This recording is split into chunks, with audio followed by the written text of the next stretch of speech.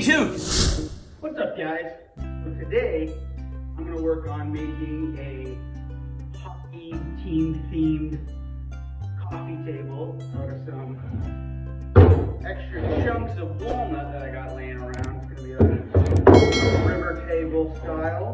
First, I'm gonna determine what size I want this. And as I believe this is my smallest piece, 21 and a half. I wanna make this a square. So we'll make the width 21 and a half as well. And for me, luckily, I have this beautiful two foot by four foot mold that we use for coffee tables. So we're gonna fit this in here, add a couple little blocking walls before we pour our epoxy. So to make it fit the mold a little better and so we don't waste too, too much epoxy, I'm gonna cut these up to square ends. And luckily enough, from my last cuts from these, those ends are already square. So I know this is my shortest one. Mark that, figure out what my length is, it's 21 and a half. Transfer that onto my second piece here. These don't have to be perfect right now. This table, after we pour our epoxy, is gonna get cut down. I'll probably take a half inch off the entire thing uh, to square it up. And then there's a bunch of ways you can square this up. Table saw, miter saw. I always just use my cordless Skil saw. Works great for me. I've just got a scrap piece of wood here. I'm just gonna cut it straight in half to make my two side pieces. So this one I can run a little long, it doesn't matter, it'll just butt to this one. But this one, that's gonna go this way, needs to butt into the back of that one, so we're gonna have to measure that one out and figure out our length. Which is 21 and a half. So now that I got my pieces for my little perimeter here, I'm gonna take them and put some tuck tape on them. So here in Canada, we have tuck tape, but uh, also called Tyvek tape. Sometimes it'll be white. Um, if you're using melamine, you can just put some mold release spray on it if you have that. Not a lot of people have that kicking around, but for me, these are some old scrap pieces of the white painted trim wood. So I want to cover them in this because the epoxy will not let go of that wood even with mold release. So to caulk this and seal it up, I like to use this. It's just a, a paintable caulking. Uh, I find I never have leaks with it. I don't have it sticking to the epoxy, so it's worked really good for me. So I'm going to take my side piece here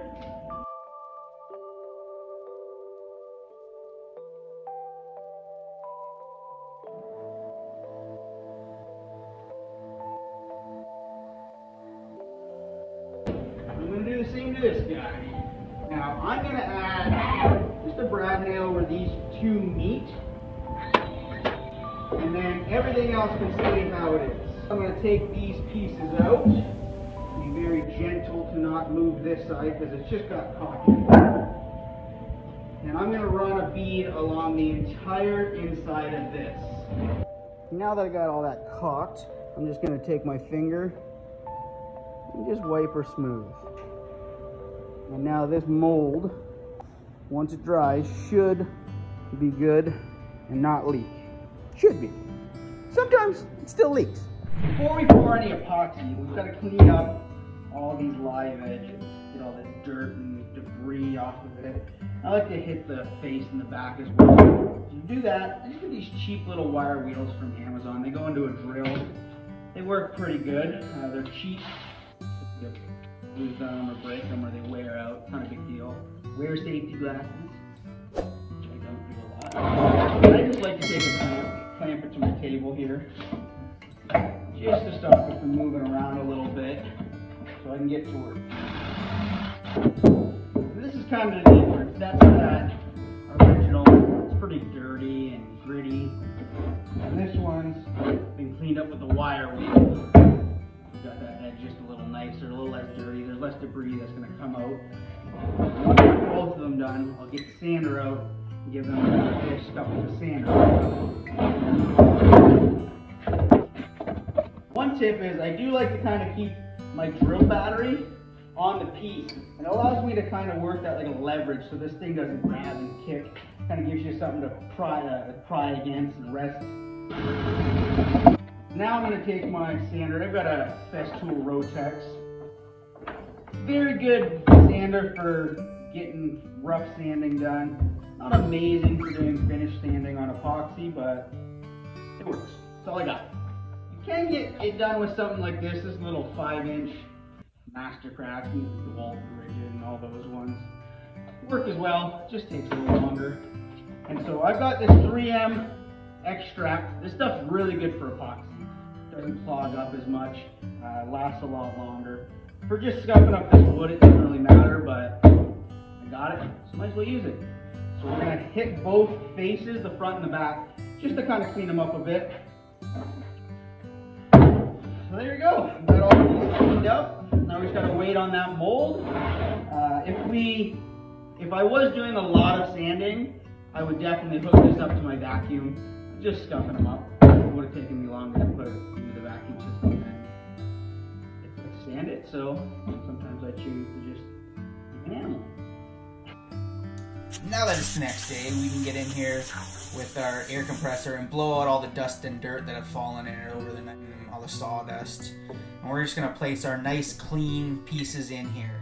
I've got my whole mold up on a couple 2x4 blocks so that I can fit my clamps underneath it. Then I'm just taking these chunks of wood that I've wrapped in Tyvek tape and another scrap piece of wood to clamp this whole thing down. It's definitely worth taping these blocks that any of your overpour won't stick to these blocks and you'll have to cut them off. It'll be a nightmare. This way they just pop off with a hammer.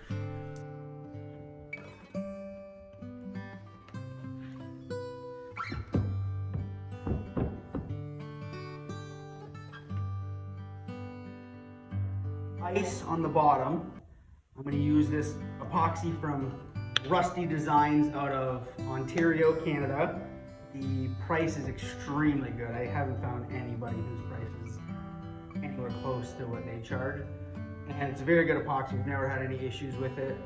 Uh, this is for our bottom ice coat and then we have this slow cast that we'll use after to fill up the rest of the mold once we're done, once we get there.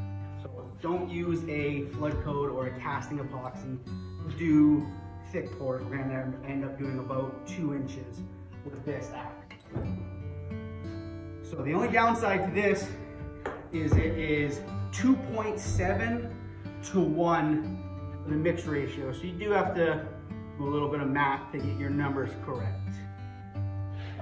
Can't stress enough how well you need to mix your epoxy.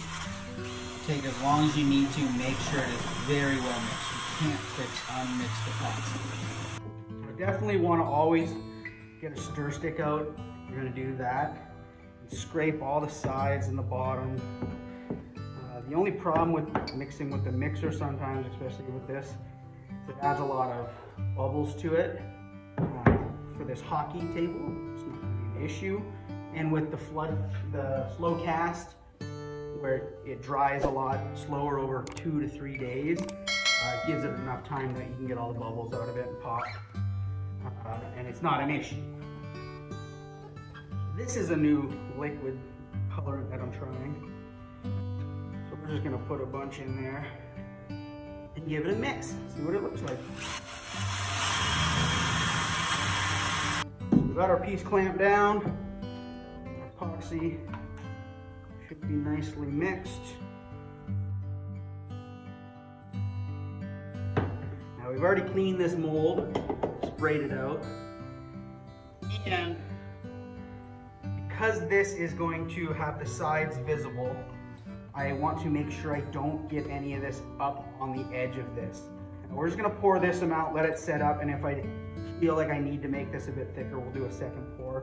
But I don't wanna go too thick on this and start filling up those sides and make a mess so that we see it once we pour our clear on top.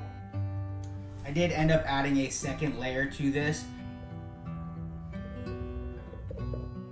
Now for everyone's favorite part. Fire! The reason we use the torch is it pops all the air bubbles and it helps flatten out this uh, top coat epoxy that we're using to make it nice and glass smooth. But you definitely need to use this to pop all the bubbles. You can use a heat gun as well. Now to put all these lines on here, I have a machine called a Cricut and it cuts vinyl stickers and logos. Uh, you could cut these by hand or I'm sure locally you could find somebody that could cut these for you. And these just stick right down. Before you stick it down though, you need to scuff up that dried epoxy. Uh, I generally use about a 400 grit to scuff it up so that this sticks. And so when you pour your next layer of epoxy on top of it, it will stick too. On this one, I wanted it to look more like a video game style, cartoony, not like a super serious ice rink. So we didn't do it exactly how a normal ice rink would be, kind of more like how you would see it in a video game. And the beauty of doing it like this is if you place them in the wrong spot, you make a mistake, they peel up very easily and you can fix it over and over again. And now it's time to pour our epoxy. I've mixed up a couple liters of the slow cast Rusty's Design epoxy and I'm just gonna put it on clear with no tint or dye or anything in it. And I've mixed up a bit extra because I've got a second project I'm pouring it into. And then we used our torch again to pop all these bubbles. Uh, I'll do this once and then I'll wait about a half hour, come back, do it again. With this slow cast, you generally don't have to come back again. These will mostly pop by themselves. It's just fun. Houston, we have a problem. I'm not sure what happened, but something went wrong. So I was kind of testing the limits on this Rusty's Designs epoxy. It's meant for two inches thick. And so normally I wouldn't do that in one pour, but I decided to give it a shot today, or yesterday, and uh, it didn't turn out great. Uh, you can see the two different colors is because the center is hard as a rock, and the edges are gooey. Stick my finger in it. Uh, and this is only about 12 hours after the pour. It should not be this hard at this point. Obviously this got a little too hot at this thickness and boiled a bit in the center. Uh, it was only at 55 in here, so not too hot. But we'll, uh, have to see if we can save this. Uh, the center at about the 12 hour mark fully cured. As you can tell, this like lighter color. And then the whole perimeter took another about 24 hours to 48 hours to cure up. So the center is a very different color and it's really got a ton of bubbles. Don't know if we're gonna be able to save it, but we'll take it out of the mold, put it on the table, let it cure for a couple more days. That's the beauty of these molds, is they just come out so easy. That's what she looks like coming off the mill. Uh, I use a router sled with linear rails. I'll do a more in-depth video on how I make that and how you can make one at your shop. Uh, you just need a really flat table, a decent horsepower router, and a milling bit. Now, out of the mold, the back is generally pretty flat, flat enough that we can mill the front side. Now we can flip this over, mill the back side. But since we put that thin layer of white for our ice effect, we have to be careful we don't mill too deep or we can mill right through that and destroy basically everything. When I'm milling through epoxy and wood, I only like to take about a 16th of an inch pass at a time just so I don't burn out my bits. And if you go thicker on the epoxy, sometimes you can start getting tear out and chip out and it just doesn't look good. I found that's the depth that really works for my setup. And then I lost some of the footage. So once we were done milling it, I took it out to my table and we squared it up, cut it all to our final size, and I hit the entire thing with 80 grit sandpaper with the Rotex. And then I took a 22 degree chamfer bit and put a chamfer around the whole top of the table. It's not something I normally do, but I just wanted to try a different look on the top. So tell me what you think, if you like it or not.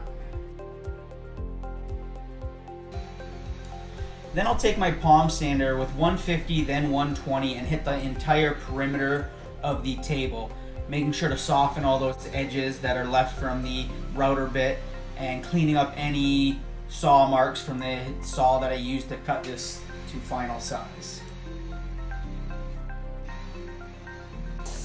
Once all my sanding is done, I'll blow the whole piece off with the compressor and then I'll clean the whole table with just some water through this spray bottle. I'll wipe it down a couple times, making sure it's really clean. This also gives you a chance to get a good look at what your piece looks like, see if there's any scratches that need to be addressed or there's any chips, and then I'll leave this for 24 hours to really dry out. Then the next day before we pour our flood coat epoxy, I'll blow the whole piece off again and make sure it's nice and clean. It's time to put our flood coat on. So I've got a nice batch of flood coat mixed up. I'll put it in a warm water bath to help thin it out a little bit so it flows a little nicer, especially my shop's generally around 55 degrees. So this stuff is a little thicker out like that. And I'll just put my cup upside down to let the rest of it drain out. And with a set of gloves on, I'll now swirl it all around the table, making sure to spread it out and covering all the sides, all the edges, making sure there's nowhere missed. Everything's got to get covered in this. And then you kind of get to be like a kid again, playing with sticky, gooey stuff for a couple minutes. It's actually kind of fun. It's the whole reason we do this, to have a little bit of fun. This is definitely a messy process, so make sure you put some plastic down or tarps. This is just a roll of cheap painter's plastic. I've always got tons of it laying around. You don't have to be neat with this. There's really no way to mess this part up. As long as you've mixed your epoxy well and you cover all surfaces, you'll be good. Now make sure you don't leave the torch on any spot too long. But I like to go at a, a slower pace on this to really help pop the bubbles, really help flatten this table up.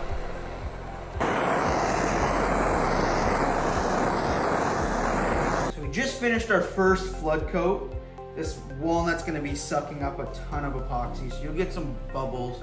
Uh, you can pre-seal the wood with epoxy, I just don't find with this setup I really need to.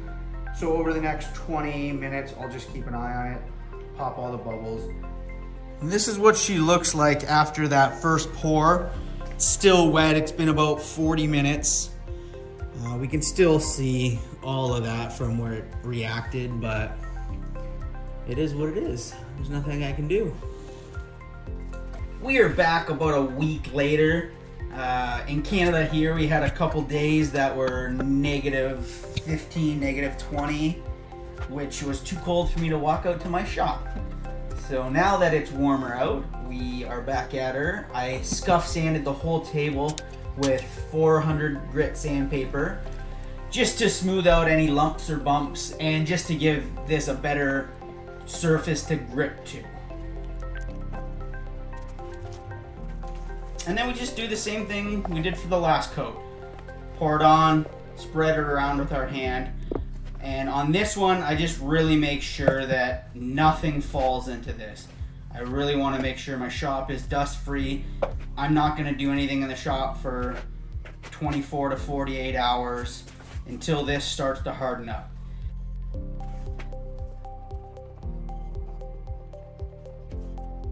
Now, if for whatever reason you couldn't get this perfect on your second flood coat, just go through the same process again. Scuff sand it, put a third flood coat on it, and you can continue to do this until you get it right. This is directly after that second flood coat. See, it's still got to level out a bit.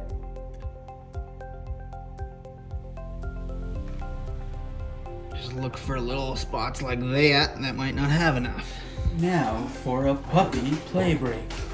Because everybody needs a puppy play break.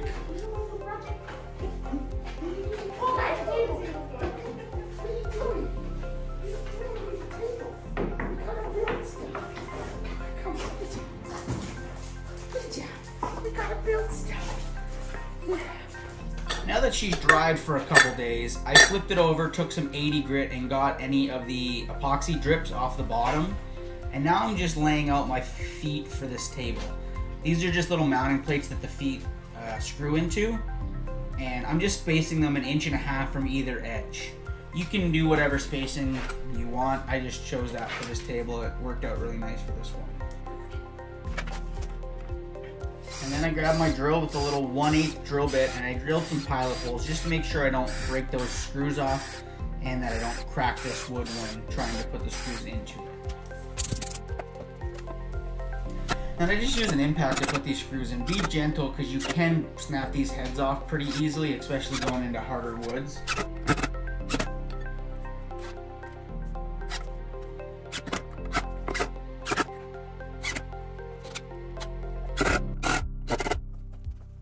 And these legs just thread in super easy. They have a little threaded uh, bolt on the end of the leg and then it goes into a little threaded recess in these base plates. Just a super easy setup for these.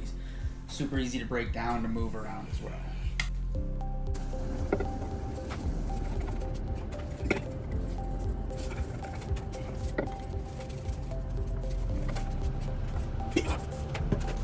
I took a little Rubio Monocoat and put that on the bottom. It's a hard wax finish. You can put any sort of finish, but I would finish that underside some way just so it doesn't have any moisture damage, the table doesn't warp, nothing stains up under there. Definitely worth doing. And then I just sprayed it down with some water, give her a good wipe down, and she is good to go. And this is what she looked like. I don't know why I took this table out into the garden next to my trees to take these pictures, but I guess I thought it was a good idea.